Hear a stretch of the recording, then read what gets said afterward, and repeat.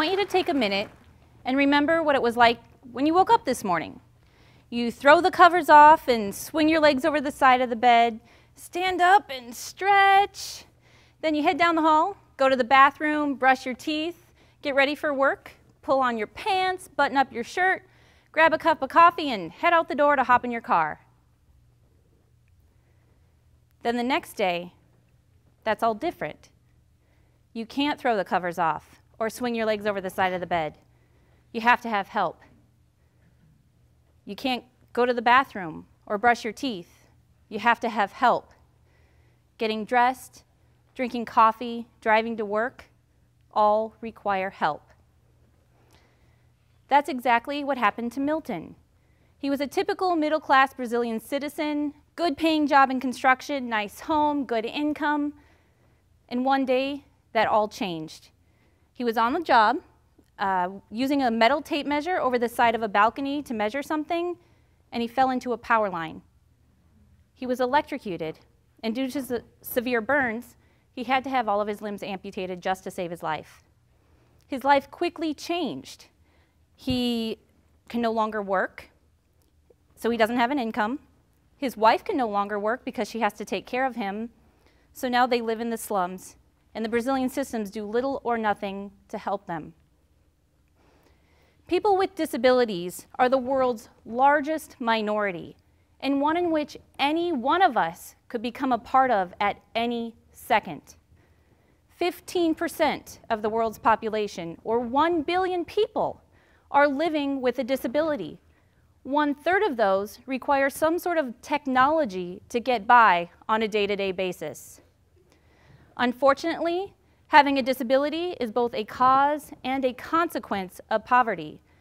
If you have a disability, you're more likely to live in poverty, and if you live in poverty, you're more likely to have a disability.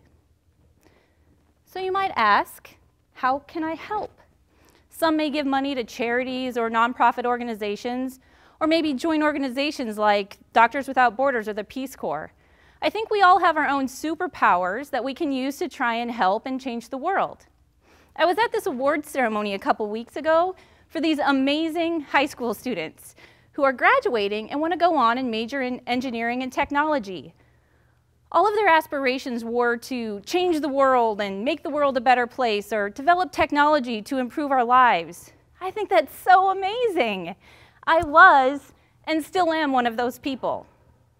But as the years have gone by, I've come to realize doing that is a little different than I thought it would be. I'd like to propose that we change the question. Look at the problem in a slightly different way. Instead, let's ask, how can I empower? How can I give people the tools to help themselves? Engineers and designers have this really cool superpower in problem solving and creativity. And I think we're uniquely equipped to empower people with disabilities living in poverty. But it's not about making the next bigger, better, fancier technology. By developing simple, affordable, sustainable, and adaptable assistive technologies for people living with disabilities, we can empower them to improve their daily lives, to earn an income, to improve their health, their self-worth, and to contribute to society. Simple, affordable, sustainable, adaptable. These are the key words. Let's go back to Milton. I met Milton on my first study abroad trip to Brazil where I take students.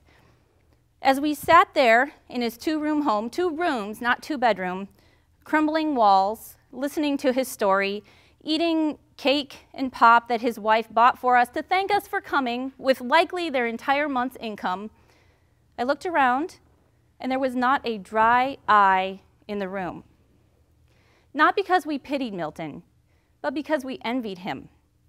Because he is the happiest person I've ever met in my entire life.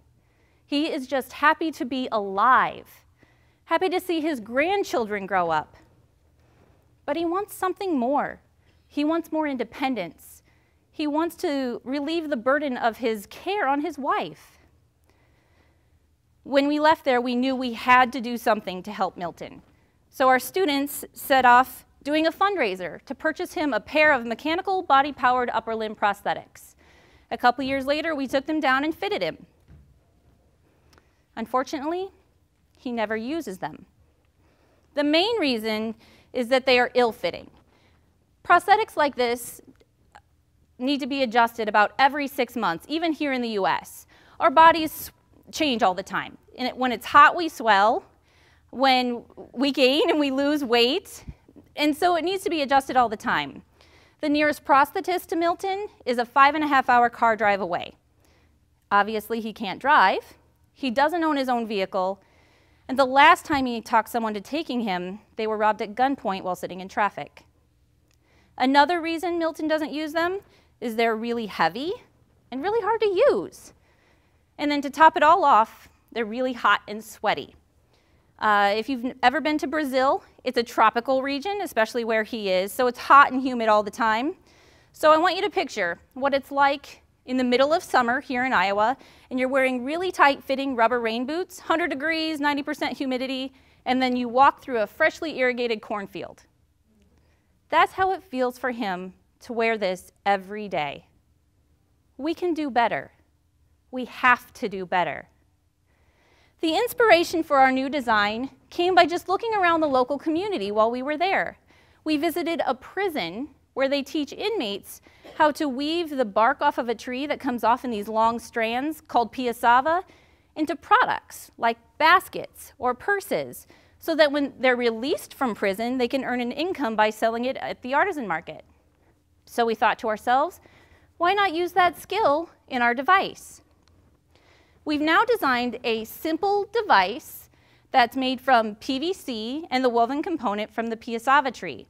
It has an elbow that has just two positions and then an end effector or different tools that we can change out on the end that you can change with a simple pin and slot mechanism. Changing the elbow position or the tools on the end is not automated in any way, but it's functional. All too often, engineers try to think, make things more complex than they really need to be. Keep it simple. Modern prosthetics here in the US cost between $5,000 and $15,000 a piece. This is just mechanical, not any that have any electronics. They've managed to get that down to between 125 and $1,800 in developing areas. Our product costs $34. Keeping it affordable is essential for those who are living in poverty. As we designed this, we also strove to use materials that we knew could be found locally. Then we also created very detailed instructions that are simple and don't have any words so that the local artisans, the local workers can actually create, can make this device themselves and maintain it. Then they can also turn around and sell it to earn an income, sustainability. Finally, that also allows it to be adaptable. It's so simple that people can adjust it. The workers, the customers can all adjust it with just the simple tools that they have laying around their house. And then the sleeve that's made from the woven piassava is so flexible that it has a Velcro strap around it and you can adjust it by just simply tightening and loosening that strap. And then to top it all off, he actually uses it. Students in our program for assistive technologies for the underprivileged have completed dozens of projects like this, not just prosthetics, but all sorts of devices to empower people, both locally here in the Quad Cities and across the globe, to improve their daily lives and to earn an income. We've also helped two universities abroad start programs like this of their own, so their students and their citizens can empower each other. It's my dream to take this to countries all over the world. Simple, affordable, sustainable, and adaptable. To teach others how to empower themselves and their neighbors. I challenge us all to take a look around our local communities and ask, not how can I help, but how can I empower?